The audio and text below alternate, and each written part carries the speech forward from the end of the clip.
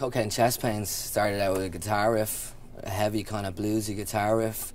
Um, it was kind of influenced by the things that we saw growing up, kind of people that went down the wrong road, I suppose you could say, and it all got a little bit too much for them. It's an epidemic in Ireland, and no one was kind of talking about it. And it's a metaphor for for all addictions, you know. It was kind of just playing with that idea, and you know, that was kind of that.